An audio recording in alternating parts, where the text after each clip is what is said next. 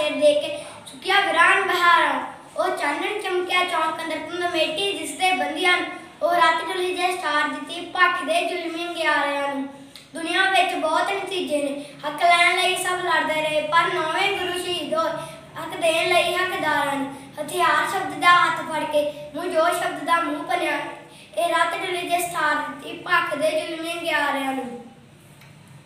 ਇਹ ਲਾਲੀ ਤਾਂ ਖੂਨ ਦੀ ਜੋ ਚਾਂਦਨੀ ਚੌਂਕ ਚ ਡੁੱਲਿਆ ਸੀ ਇਹ ਲਾਲੀ ਤਾਂ ਉਹ ਖੂਨ ਦੀ ਆ ਇਹ ਲਾਲੀ ਤਾਂ ਉਹ ਖੂਨ ਦੀ ਆ ਜੋ ਚਾਂਦਨੀ ਚੌਂਕ ਚ ਡੁੱਲਿਆ ਸੀ ਦੇਵੰਗ ਗਵਾਈ ਲਾਲ